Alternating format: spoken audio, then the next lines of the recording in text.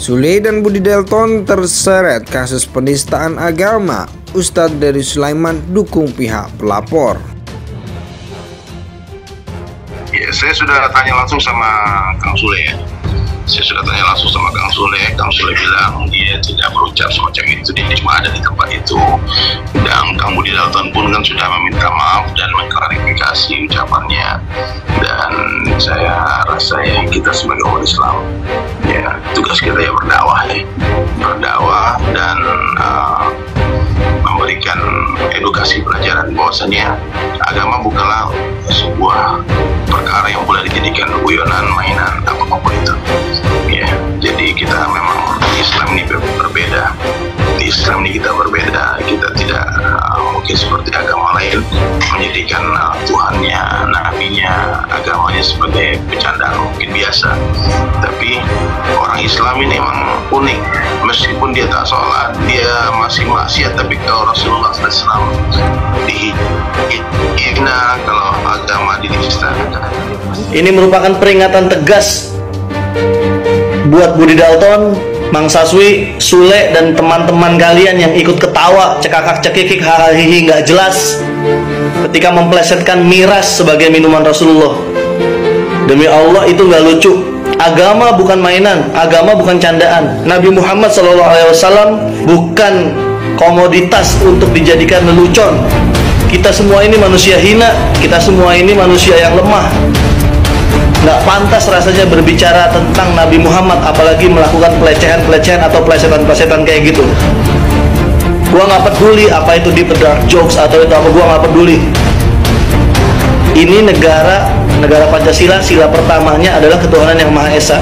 Sebebas-bebasnya kita berkreasi sebebas-bebasnya kita mengutarakan apa pun di negara ini dilindungi undang-undang kecuali menistakan agama dan memplesetkan miras sebagai minuman Rasulullah. Itu bukan hal yang lucu sama sekali. Rasanya minta maaf saja kalian itu tidak cukup. Dan harus bertanggung jawab. Tunjukkan keseriusan kalian. Minta maaf di depan publik secara luas. Dan makin lama Ustadz Dedi Sulaiman mendukung pihak yang melaporkan Sule dan kawan-kawan terkait kasus penistaan agama. Ustadz Dedi Sulaiman turut buka suara terkait kasus penistaan agama Sule dan rekan-rekannya. Sule Budi Dalton dan Mang Saswi diduga menistakan agama dengan menyebut miras sebagai minuman Rasulullah. Terkait hal ini, Sule dan rekan-rekannya dilaporkan ke pihak kepolisian oleh Aliansi Masyarakat Pecinta Rasulullah. Dikutip dalam kanal YouTube Cumi Cumi pada Rabu 23 November 2022. Ustadz Dedi Sulaiman mendukung Ampera. Yang jelas saya pribadi mendukung laporan itu, ujar Ustadz Dedi Sulaiman. Ustadz dari Sulaiman ingin pihak Sule mendapatkan pelajaran dari adanya kasus ini. Dengan niat sebagai edukasi dan efek jerak, saya yakin ini jadi pelajaran berharga bagi Kang Sule dan Budi Dalton, ujar Ustadz dari Sulaiman. Dengan adanya kasus ini, Ustadz dari Sulaiman yakin bahwa Sule dan rekan-rekannya adalah orang yang baik. Ustadz dari Sulaiman menduga bahwa Sule dan rekan-rekannya telah melakukan hal yang tidak sengaja. Saya yakin mereka orang-orang baik, nggak mungkin mereka menista Rasulullah, nggak mungkin kejeblosan aja, ujar Ustadz Dari Sulaiman. Sementara itu Ustadz Dari Sulaiman telah berkomunikasi dengan Sule. Sule mengaku dirinya tak pernah mengucapkan hal-hal yang menistakan agama. Dia merasa bukan dia yang mengucapkan itu, ujar Ustadz Dari Sulaiman. Syahrul Rijal telah melaporkan Sule Mangsa Swi Budi Dalton dan ke kantor ke polisi. Agama bukanlah sebuah perkara yang dijadikan guyonan mainan atau apa pun itu, ujar Ustadz Dari Sulaiman. Ustadz Dari Sulaiman menegaskan bahwa agama Islam berbeda dengan agama lainnya. Agama Islam tidak bisa diangkat menjadi topik bercandaan. Islam ini kita berbeda, kita tidak bisa seperti agama lain menjadikan Tuhannya, nabinya sebagai bahan bercandaan. Itu mungkin biasa, ujar Ustadz Dari Sulaiman. Ustaz Dedi Sulaiman mengatakan bahwa setiap umat Islam pasti mencintai nabinya. Saya memaklumi Ampera marah karena pasti setiap orang mencintai Rasulullah, ujar Ustaz Dedi Sulaiman. Ternyata video dugaan penistaan agama yang dilakukan Sule dan rekan-rekannya sudah diunggah sejak tiga tahun lalu. Ini kan terkait dengan agama dan umat Islam. Bagaimana mungkin bisa minta maaf dengan ajaran yang sudah dicederai?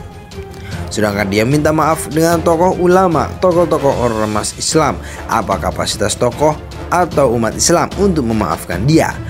Sedangkan yang kecewa ada jutaan di luar sana termasuk klien kami tidak ada permintaan maaf lanjut Muhammad. Seperti diketahui Sule Mangsaswi dan Budi Dalton dilaporkan atas kasus dugaan penistaan agama dan UU ITE. Budi Dalton dianggap telah menistakan agama ketika memberikan pernyataan miras dalam minuman Rasulullah. Kemudian Sule dan Mangsa Swi turut dilaporkan karena ikut merasa menerangkan hal tersebut dan tidak menegur Budi Dalton. Ustadz Dedi Sulaiman mendukung pihak yang melaporkan Sule dan kawan-kawan terkait kasus penistaan agama. Ustadz Dedi Sulaiman turut buka suara terkait kasus penistaan agama Sule dan rekan-rekannya.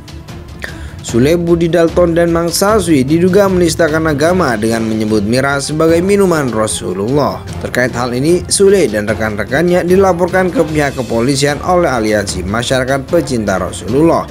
Dikutip dalam kanal YouTube Cumi Cumi pada Rabu 23 November 2022. Ustadz Dery Sulaiman mendukung Ampera. Yang jelas saya pribadi mendukung laporan itu, ujar Ustadz Dery Sulaiman. Ustadz dari Sulaiman ingin pihak Sule mendapatkan pelajaran dari adanya kasus ini.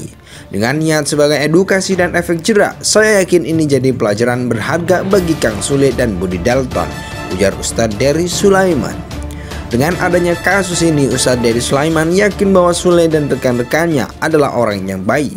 Ustadz dari Sulaiman menduga bahwa Sule dan rekan-rekannya telah melakukan hal yang tidak sengaja.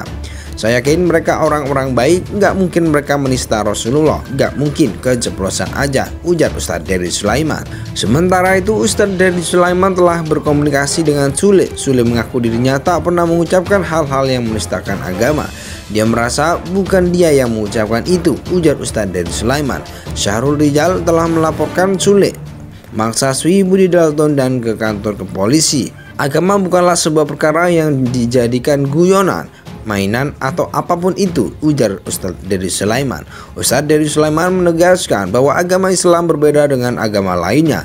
Agama Islam tidak bisa diangkat menjadi topik bercandaan. Islam ini kita berbeda, kita tidak bisa seperti agama lain menjadikan Tuhannya, nabinya sebagai bahan bercandaan. Itu mungkin biasa, ujar Ustadz Dedi Sulaiman. Ustadz Dedi Sulaiman mengatakan bahwa setiap umat Islam pasti mencintai nabinya. Saya memaklumi Ampera marah karena pasti setiap orang mencintai Rasulullah, ujar Ustadz Dedi Sulaiman. Ternyata video dugaan penistaan agama yang dilakukan Sule dan rekan-rekannya sudah diunggah sejak tiga tahun lalu. Ini kan terkait dengan agama dan umat Islam. Bagaimana mungkin bisa minta maaf dengan ajaran yang sudah dicederai? Sedangkan dia minta maaf dengan tokoh ulama, tokoh-tokoh ormas Islam. Apa kapasitas tokoh atau umat Islam untuk memaafkan dia?